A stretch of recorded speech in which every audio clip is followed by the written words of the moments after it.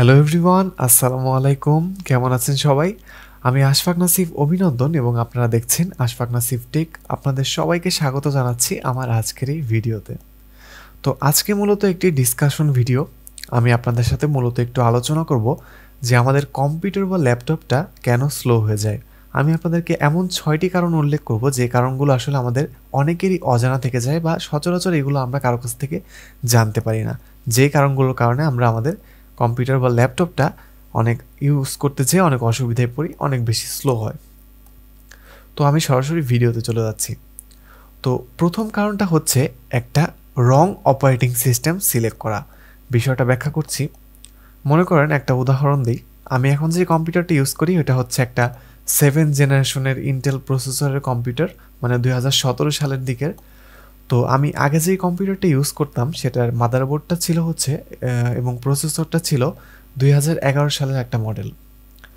তো আমি আমার ওই আগের কম্পিউটারটায় একদিন উইন্ডোজ টেন ইনস্টল করেছিলাম। তো উইন্ডোজ টেনটা ইনস্টল করার পরই আমার কম্পিউটারটা মারাত্মক স্লো হয়ে যায়। তো এটা হচ্ছে কখনোই করা যাবে না। আমাদের কম্পিউটার বা আমাদের ল্যাপটপে আমাদের যে মাদারবোর্ড যে প্রসেসর সেগুলো যেই অপারেটিং সিস্টেমটা সাপোর্ট করে, আমাদেরকে অবশ্যই সেই অপারেটিং সিস্টেমটা সিলেক্ট করতে হবে। যেমন আমার আগের কম্পিউটারটা সাপোর্ট করতো উইন্ডোজ সেভেন পর্যন্ত। উইন্ডোজ সেভেন হচ্ছে দুই হাজার নয় সালের একটি অপারেটিং সিস্টেম তো আমি ওই কম্পিউটারে উইন্ডোজ সেভেনই ম্যাক্সিমাম ইউজ করতাম। আমি জাস্ট একটা এক্সপেরিমেন্টালি উইন্ডোজ টেন একদিন ইনস্টল করেছিলাম। তো সেখান থেকে আসলে বোঝা গেল যে আপনার কম্পিউটারটা যে অপারেটিং সিস্টেমটা সাপোর্ট করে বা যে অপারেটিং সিস্টেম পর্যন্ত সাপোর্ট করে, আপনাকে অবশ্যই সেই অপারেটিং সিস্টেমটাই ইউজ করতে হবে। এটা বললাম, কারণ অনেকেই একটু পুরোনো মডেলের ল্যাপটপ বা পিসি ইউজ করেন। তো আপনারা অলওয়েজ যেটা করবেন সেটা হচ্ছে আপনার কম্পিউটারে যে উইন্ডোজটা সাপোর্ট করে, সেই উইন্ডোজটাই অলওয়েজ ইনস্টল করবেন। যেমন আমি এখন উইন্ডোজ টেন ইউজ করছি, এটা ভালোভাবে আমার কম্পিউটারে চলছে। কোনো সমস্যা হচ্ছে না, আমার এই উইন্ডোজের জন্য সব ড্রাইভার অ্যাভেলেবেল আছে। কোনো সমস্যা এখানে নেই। তো এটা ছিল হচ্ছে প্রথম পয়েন্ট এবার চলে যাব দ্বিতীয় পয়েন্টে দ্বিতীয় পয়েন্টটা হচ্ছে উইন্ডোজটাকে প্রপারলি ইনস্টল করা। বিষয়টা হচ্ছে যে, আমরা জানি আমরা আসলে পাইরেট ভার্সন ইউজ করি উইন্ডোজের। অরিজিনাল ভার্সন তো আসলে আমরা ম্যাক্সিমাম ইউজ করি না কখনো সাধারণভাবে। তো এই পাইরেট ভার্সনটার মধ্যে উইন্ডোজে কিন্তু অনেক ফ্রেশ কপি এবং কিছু ঝামেলাপূর্ণ ভার্সনও আছে। মানে মনে করেন যে, বিভিন্ন বাগ টাক সহ। তো আপনারা অলওয়েজ ট্রাই করবেন যে একটা ফ্রেশ ভার্সন উইন্ডোজের ইনস্টল করার। বিভিন্ন ওয়েবসাইটে পাওয়া যায় উইন্ডোজের ফ্রেশ কপি সেগুলো থেকে আপনারা অলওয়েজ ট্রাই করবেন উইন্ডো উইন্ডোজটাকে ইনস্টল করার।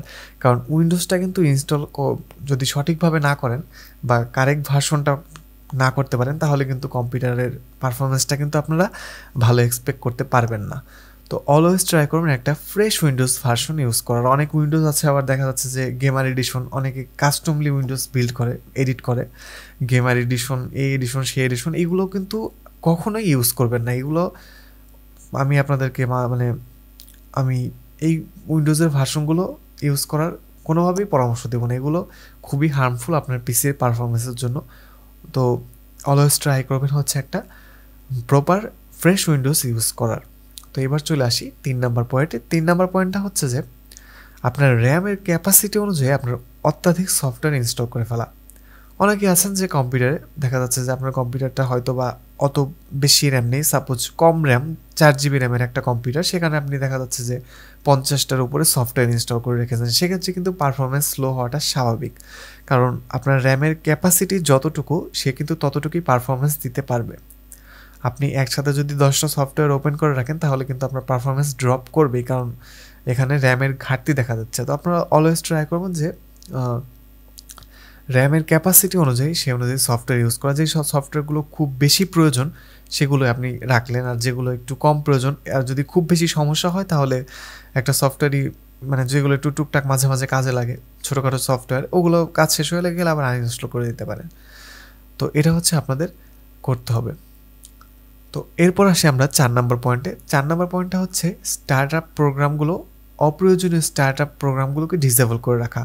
তো স্টার্ট আপ প্রোগ্রামগুলো হচ্ছে আমাদের কম্পিউটার অন হওয়ার পরে যে প্রোগ্রামগুলো বা যে সফটওয়্যারগুলো অটোমেটিক অন হয়ে যায়।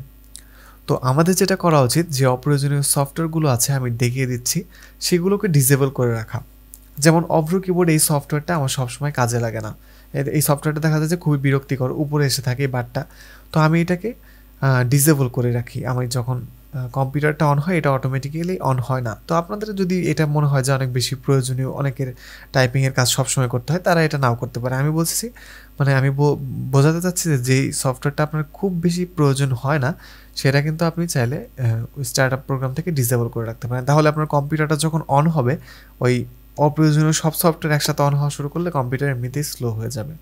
ওকে তো এটা গেল হচ্ছে আমাদের চার নম্বর পয়েন্ট এবার আসি পাঁচ নম্বর পয়েন্টে একটা ইম্পর্টেন্ট পয়েন্ট সেটা হচ্ছে আমরা যখন বিভিন্ন ওয়েবসাইট থেকে বিভিন্ন ধরনের সফটওয়্যার থার্ড পার্টি সফটওয়্যার এগুলো ডাউনলোড করি, এক্ষেত্রে কিন্তু অনেক সময় দেখা যায় আমরা যখন ডাউনলোড করে ইনস্টল দিতে থাকি নেক্সট নেক্সটে ক্লিক করতে থাকি, খেয়াল না করে আরও অনেক সফটওয়্যার ডাউনলোড হয়ে ইনস্টল হয়ে যায়, আমরা কিন্তু টেরও পাই না। তো এই বিষয়টা আপনাদের খুবই সচেতন থাকতে হবে। বিভিন্ন ধরনের অ্যাড থেকে বিভিন্ন ধরনের সফটওয়্যার কিন্তু আবার বিভিন্ন সময় আমরা উল্টাপাল্টা ডাউনলোড লিঙ্কে ক্লিক করি রং ডাউনলোড লিঙ্কে ক্লিক করি, সেক্ষেত্রেও কিন্তু অনেক সফটওয়্যার আমাদের পিসিতে একা একা ইনস্টল হয়ে যায়। তো আপনাদের ইন্টারনেট ব্যবহারে একটু সচেতন হতে হবে। আপনারা কোনো কিছু ডাউনলোড করলে বা কোনো সফটওয়্যার ইনস্টল করলে সেই সাথে আরও কোনো সফটওয়্যার ইনস্টল হয়ে যাচ্ছে কি না এই ব্যাপারগুলো একটু খেয়াল করবেন। তো এটা হচ্ছে আমাদের পাঁচ নম্বর পয়েন্ট এবার আসব লাস্ট পয়েন্টটায় সেটা হচ্ছে অ্যান্টিভাইরাস তো অ্যান্টিভাইরাসটা হচ্ছে আমাদের মেনলি আমরা ভাইরাসটাকে রিমুভ করার জন্য বা কম্পিউটারটাকে ভাইরাস থেকে সেভ করার জন্য আমরা ইউজ করি।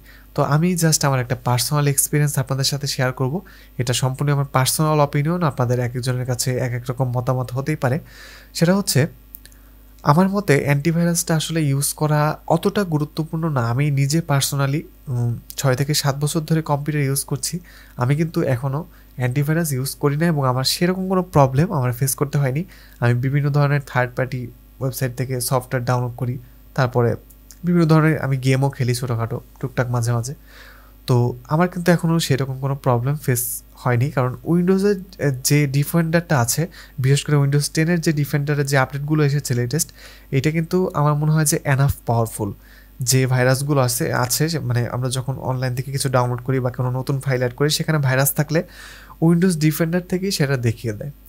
তো আমার মনে হয় না আসলে যে মানে একটা এক্সট্রা কোনো অ্যান্টিভাইরাসের দরকার আছে। অ্যান্টিভাইরাস ইউজ করলে আমার মনে হয় যে পিসি কিছুটা পারফরমেন্স ড্রপ করে। যদিও এটা আপনাদের যার যার ব্যক্তিগত ব্যাপার, তবে আমি সাজেস্ট করব বা আমি আমার পার্সোনালি একটা অপিনিয়ন দিব বা আমি আপনাদের একটা পরামর্শ দিব যে অ্যান্টিভাইরাসটা আমার মনে হয় যে ইউজ করার প্রয়োজন নেই। যেহেতু উইন্ডোজ ডিফেন্ডার আছে অ্যান্ড আপ স্ট্রং তো যে পয়েন্টগুলো বললাম আপনাদের, আশা করি আপনারা বুঝতে পেরেছেন। এই বিষয়গুলো একটু লক্ষ্য রাখবেন যে কীভাবে আসলে এই জিনিসগুলো আপনারা অনেকে করছেন, তো এই ভুলগুলো জাস্ট একটু ঠিক করার চেষ্টা করবেন, তাহলে আপনার কম্পিউটারের পারফরমেন্সটা আপনারা অনেক ভালো পাবেন। তো এটা ছিল হচ্ছে আমার আজকের আশফাকনা সিফটেকের একটা ফার্স্ট ডিসকাশন ভিডিও তো আমি আরও ডিসকাশন ভিডিও ইনশাল্লাহ আনব পরবর্তীতে, আপনারা কোন টপিকের উপর চান অবশ্যই আমাকে জানিয়ে দিবেন কমেন্ট বক্সে এবং ভিডিওটি কেমন লাগল সেটিও কিন্তু অবশ্যই জানিয়ে দিবেন। আর সাথে থাকবেন অবশ্যই। পরবর্তী ভিডিও পর্যন্ত অপেক্ষা করবেন। আমার কিছুদিন আগে এক হাজার সাবস্ক্রাইবার্স পূরণ হয়েছে। আপনাদের সবাইকে অসংখ্য ধন্যবাদ যারা আমাকে আসলে এত বেশি সাপোর্ট করেন, এত বেশি ভালোবাসেন। সবার জন্য আমি আসলে সবার এই সাপোর্টটুকুর জন্য এত দূর আসতে পেরেছি। আশা করি এই চ্যানেলটাকে আমি আরও অনেক দূর আপনাদের এই ভালোবাসা এবং সাপোর্টে নিয়ে যেতে পারব।